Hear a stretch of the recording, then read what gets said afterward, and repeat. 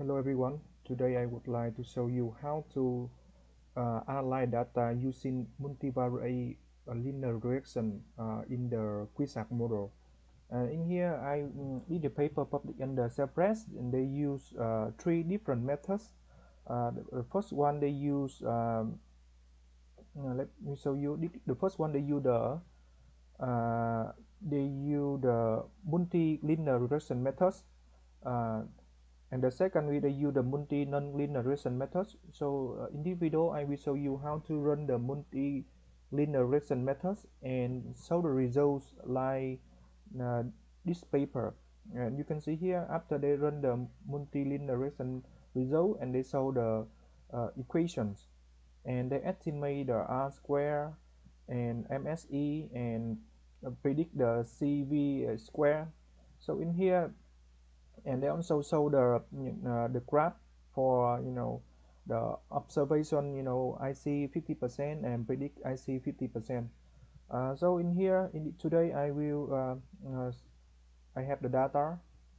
Uh, I will include in the in this uh, video and you can practice here.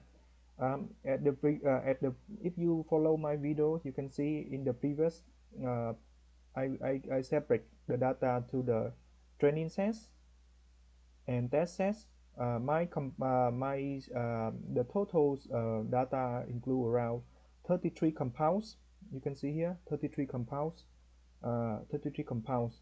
And I separate around 16 compounds for training sets uh, 26 compounds for training sets and around 7 compounds for test sets.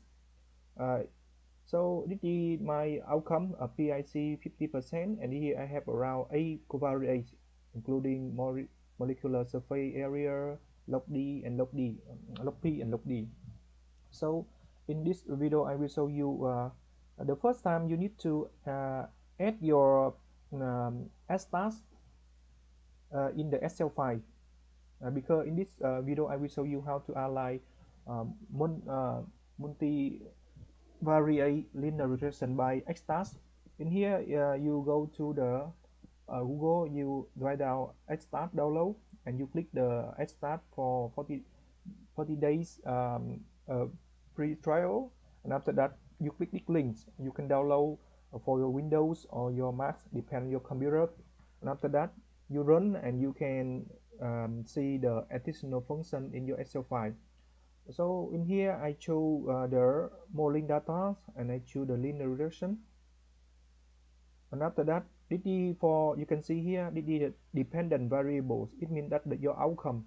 And here I choose my outcome is PIC 50 uh, because I only on I want to uh, um, estimate uh, IC50 in the training set I only um, select the training uh, sets.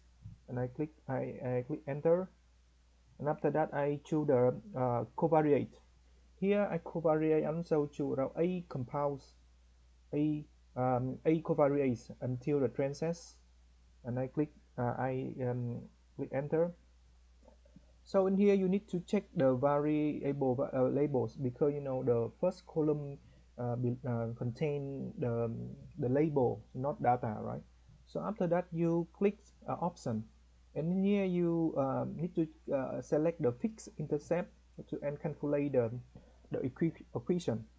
And the next one you um, uh, you in variation here because I did not uh, want to variation variation in the next step but in here we only calculate the uh, predict uh, IC 50% here I did not pick anything. And prediction I also uh, did not um, um, use so I, I did not uh, click everything. Next one is the mixing data. Because in here I we don't our data is um, it did not have, have any missing data so I click do not accept uh, missing data. And the last one the output. In here we need to uh, calculate a lot of uh, information. For example decrypt statistic correlation multicollinearity statistics uh, uh, try one or three um, uh, sums of square table and standardized coefficient and prediction of residuals and the first one is we need to click on the uh, confidence interval. So after that you need chart.